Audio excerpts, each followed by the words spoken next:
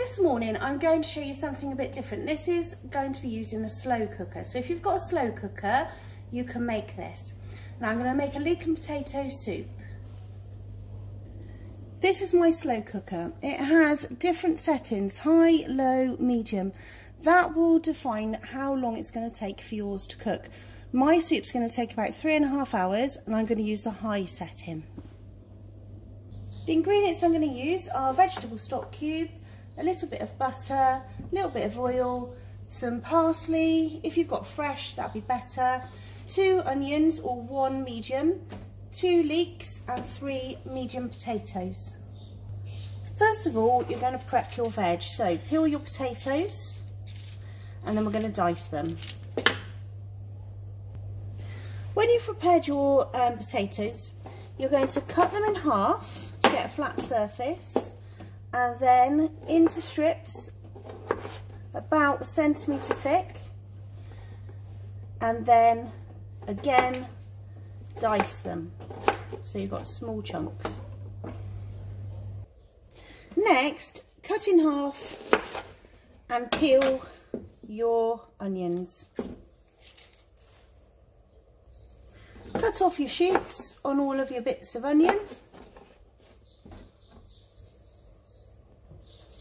Then slice it towards the roots. Whoops.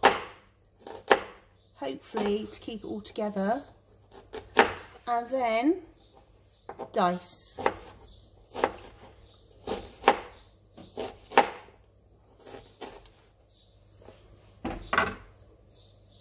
The last thing we've got to prepare are our leeks. Now make sure you give these a good wash because these can get quite muddy. Then you're going to chop the end off and the green bit at the end. We're going to slice it in half down the middle. And then we're going to make little half moons all the way along and then we'll be ready to cook.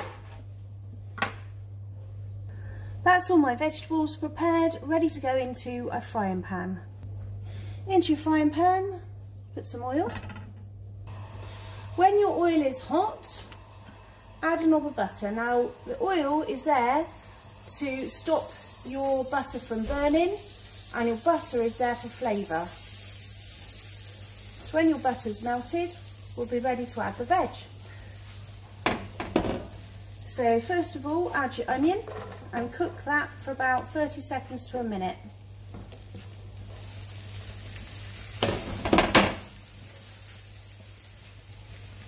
And then add your leek and your potatoes to the pan and stir for another four minutes.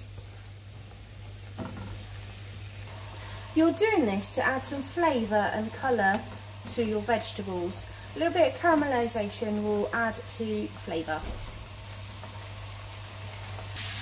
Whilst you're cooking your veg, quickly crumble and dissolve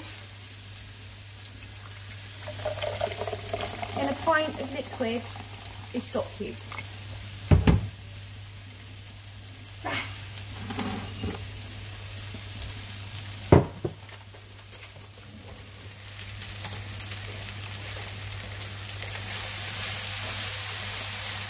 Your slow cooker, add your vegetables